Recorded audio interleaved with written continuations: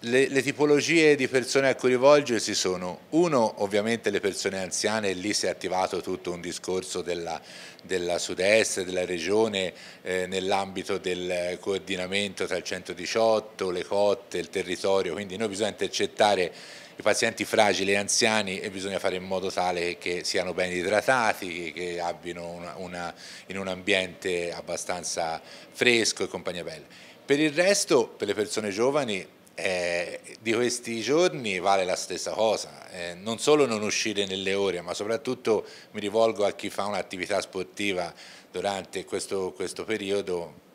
se non si va alle Olimpiadi a Parigi, che sono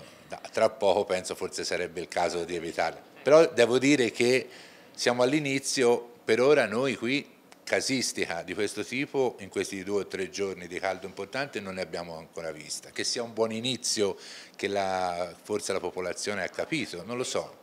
Colpo di calore ne abbiamo passato, parlato anche negli anni passati, non va sottovalutato. Quali sono gli eventuali sintomi eh, del colpo di calore al quale ci si può essere esposti magari anche inconsapevolmente? Il colpo di calore è una patologia molto grave perché può portare anche a morte, eh, può portare a delle sequele come crisi convulsive.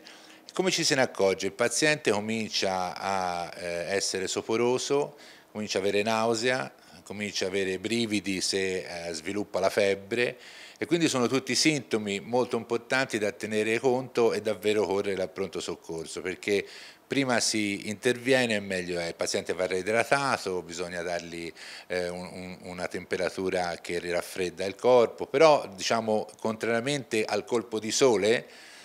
eh, che è una patologia che può dare eh, un po' di fastidio, ma insomma il colpo di calore crea uno squilibrio anche idroelettrolitico, quindi eh, è, un, è, una patologia grave che bisogna affrontare. Sono rari i casi, eh, però quando ci sono bisogna trattarli. Ecco, lo dovesse spiegare a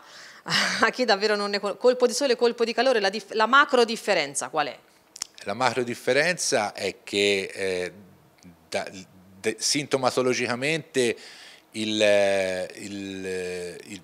il, la cosa da cui stare veramente attenti è lo stato di sopore del paziente, perché il colpo di, colpo di sole uno eh, è rossato, ci può avere cefalea, si sente caldo, ma non c'è un disturbo del sensorio neurologico, questa è una delle cose a cui stare più, più attenti. E poi l'ipertermia una febbre veramente elevata che non ha origine di niente di infettivo e vuol dire che lì allora l'equilibrio della temperatura corporea è andato in crisi e quindi bisogna, bisogna trattarlo.